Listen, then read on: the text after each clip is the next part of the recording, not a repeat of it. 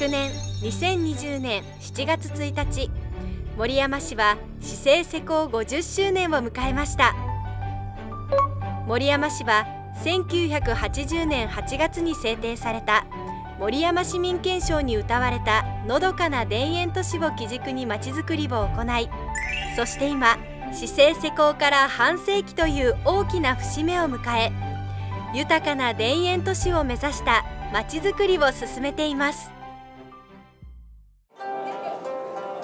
8月1日。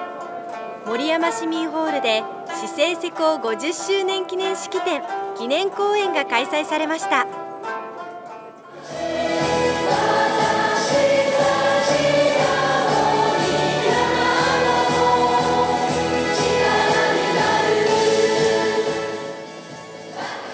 式典を前に「アイラブ森山 PR 応援団」が登場。市政施行50周年 PR ソング「アイラブ森山森山やのに山姉ちゃん」を披露しました。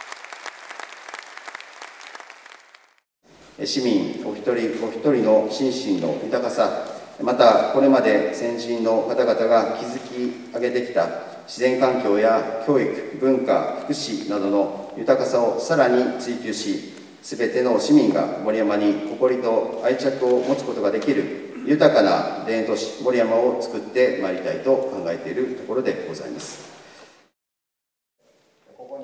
式辞の後これまで市政の振興に尽力された98人29団体に感謝状が贈呈されました。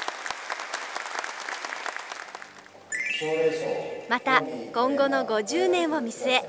さらなる活躍が期待される8団体が表彰されました。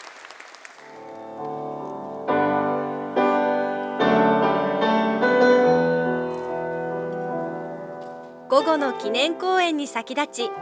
森山市出身のジャズピアニスト加藤恵子さんのウェルカムピアノソロによる美しい音楽で式典に花を添えました。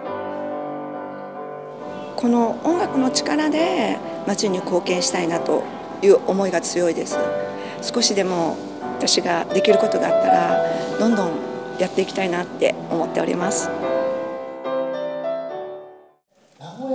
記念公演では50年先の豊かな田園都市に向けて日本文化の第一人者である茶道裏千家15代宣言室全家元による記念公演が行われました。私が外国っていうのはあんたまたね吊るす文化やハンガーバーンとぶら日本はそんなことしないよ。みんな畳の上でピチッと畳んでタンスの中に面倒くさい中に生き生きとした一つの生活の価値観というものが私たちは講演では日本人が大切にしてきた価値観や文化の尊さについて話されました。市政50周年を機にこれまで守り築き上げてきた豊かな自然や文化歴史をさらなる未来へと継承し夢と希望に満ちた50年先の豊かな田園都市を目指して新たな一歩を踏み出します。